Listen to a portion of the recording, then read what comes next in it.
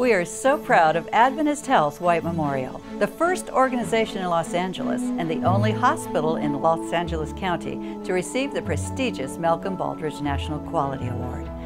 Hi, I'm Connie Vandeman Jeffrey, and this is All God's People. We have a lot of news for you this week, so let's get right to it. Every year since 1987, the Baldrige Award has recognized a select few U.S. organizations and businesses that have shown an unceasing drive for innovative solutions to complex challenges, visionary leadership, and operational excellence. White Memorial was one of six recipients of the 2019 Baldrige Award. This is the highest level of national recognition for performance excellence that a U.S. organization can receive. Over nearly two decades, Adventist Health White Memorial has worked closely with its partners in the Hispanic majority community to train more than 224 local residents in nursing. Of these, 100% received registered nurse licensing. 70% pursued advanced degrees, and 90% stayed at AHWM after three years. The result is a nursing staff that reflects the demographics of the community, providing culturally competent care in the primary language of its patients.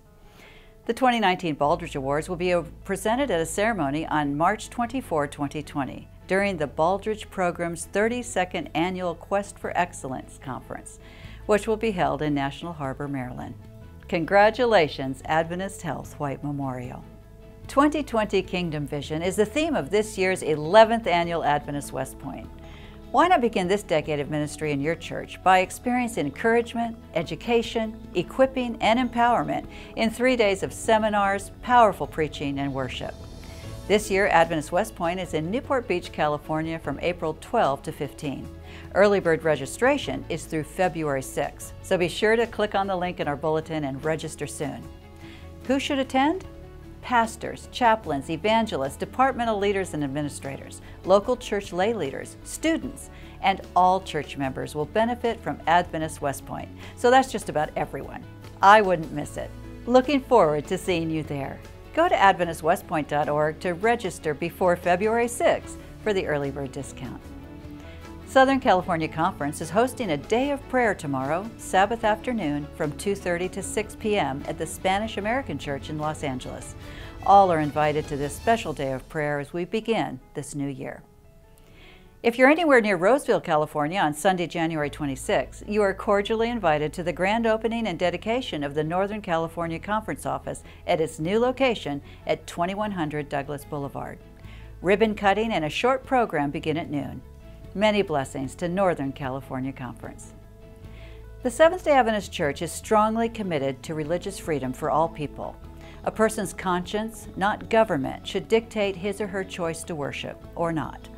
Throughout our history, our church has spoken out on issues of religious liberty. And Liberty Magazine has been a part of our witness and outreach since 1906.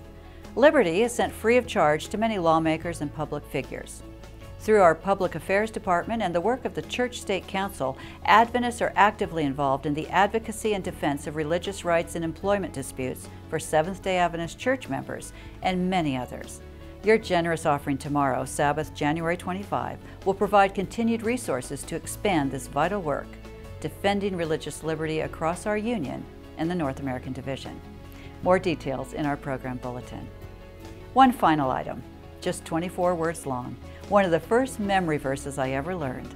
Psalm 19:14 is a reminder of our life together in God's grace and our high calling.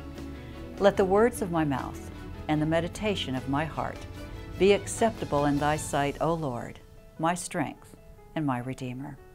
For all God's people, I'm Connie Jeffrey.